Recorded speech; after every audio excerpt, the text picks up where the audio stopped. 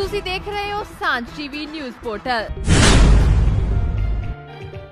ਪੰਜਾਬ ਵਿੱਚ ਕਰੋਨਾ ਕਾਰਨ ਕਰਫਿਊ ਲੱਗਾ ਹੋਇਆ ਹੈ, ਜਿਸ ਕਾਰਨ ਗਰੀਬ ਲੋਕ ਆਪਣੇ ਕੰਮਕਾਰ ਛੱਡ ਘਰਾਂ ਵਿੱਚ ਬੈਠੇ ਹੋਏ ਨੇ। ਜਿਸ ਕਾਰਨ ਉਹ ਲੋਕ ਸੋਚਣ ਨੂੰ ਮਜਬੂਰ ਹੋ ਗਏ ਸਨ ਕਿ ਹੁਣ ਉਹ ਆਪਣੇ ਬੱਚਿਆਂ ਨੂੰ ਰੋਟੀ ਕਿਵੇਂ ਖਵਾਉਣਗੇ। ਤਾਂ ਪੰਜਾਬ ਵਿੱਚ ਦਾਨੀ ਤੇ ਸਮਾਜ ਸੇਵਾ ਕਰਨ ਵਾਲੇ ਲੋਕਾਂ ਨੇ ਮੋਰਚਾ ਸਾਂਭਿਆ।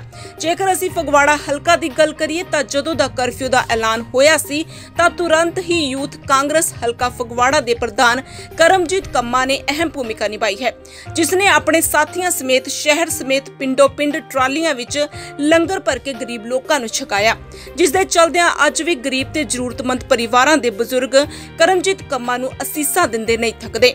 ਇੱਕ ਹੋਰ ਕਰਮਜੀਤ ਕੰਮਾ ਵੱਲੋਂ ਚੰਗੀ ਪਹਿਲ ਕੀਤੀ ਗਈ ਹੈ। ਲੰਗਰ ਦੇ ਨਾਲ ਜੇਕਰ ਕਿਸੇ ਪਰਿਵਾਰ ਨੂੰ ਸੁੱਕੇ ਰਾਸ਼ਨ ਦੀ ਲੋੜ ਹੈ, ਤਾਂ ਉਹਨਾਂ ਦੀ ਮਦਦ ਵੀ ਕੀਤੀ ਜਾ ਰਹੀ ਹੈ। ਅੱਜ ਵੀ ਉਹਨਾਂ ਨੇ ਵਾਰਡ ਨੰਬਰ 22 ਦਾ ਦੌਰਾ ਕੀਤਾ ਤੇ ਲੋੜਵੰਦ ਲੋਕਾਂ ਨੂੰ ਸੁੱਕਾ ਰਾਸ਼ਨ ਮੁਹੱਈਆ ਕਰਵਾਇਆ। ਇਸ ਮੌਕੇ ਉਹਨਾਂ ਬੋਲਦਿਆਂ ਕਿਹਾ ਕਿ ਉਹ ਹਲਕਾ ਫਗਵਾੜਾ ਦੇ ਐਮਐਲਏ ਬਲਵਿੰਦਰ ਸਿੰਘ ਧਾਲੀਵਾਲ ਦੇ ਦਿਸ਼ਾ ਨਿਰਦੇਸ਼ਾਂ ਹੇਠ ਕੰਮ ਕਰ ਰਹੇ ਨੇ। ਉਹਨਾਂ ਐਲਾਨ ਕੀਤਾ ਹੈ ਕਿ ਕਰਮਜੀਤ ਕੰਮਾ ਦੇ ਹੁੰਦਿਆਂ ਵਾਰਡ ਨੰਬਰ 22 ਵਿੱਚ ਕਿਸੇ ਨੂੰ ਵੀ ਤੰਗੀ ਨਹੀਂ ਆਉਣ ਦਿੱਤੀ ਜਾਵੇਗੀ।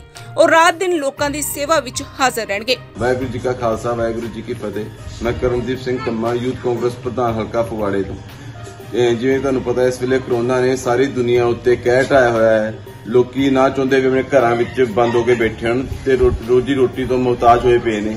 ਇਸੇ ਵੇਲੇ ਸਾਡੇ ਯੂਥ ਕਾਂਗਰਸ ਦੀ ਫਗਵਾੜੇ ਟੀਮ ਵੱਲੋਂ ਇੱਕ ਛੋਟੀ ਜਿਹੀ ਕੋਸ਼ਿਸ਼ ਕੀਤੀ ਗਈ ਹੈ ਸਰਦਾਰ ਬਲਵਿੰਦਰ ਸਿੰਘ ਧਾਲੀਵਾਲ ਫਗਵਾੜੇ ਦੇ ਐਮਐਲਏ ਜੀ ਦੇ ਨਿਸ਼ਾ, ਦਿਸ਼ਾ ਨਿਰਦੇਸ਼ਾਂ ਅਨੁਸਾਰ ਅਸੀਂ ਅੱਜ ਫਗਵਾੜੇ ਵਾਰਡ ਨੰਬਰ 22 ਚ ਲਗਭਗ ਸਵਾ ਸੌ ਪਰਿਵਾਰਾਂ ਨੂੰ ਰਾਸ਼ਨ ਘਰ ਘਰ ਜਾ ਕੇ ਪਹੁੰਚਾਇਆ ਗਿਆ ਹੈ ਤੇ ਇਸੇ ਤਰ੍ਹਾਂ ਅਸੀਂ ਗਾਂ ਵੀ ਲੋਕਾਂ ਦੀ ਸੇਵਾ ਵਿੱਚ ਹਾਜ਼ਰ ਰਵਾਂਗੇ।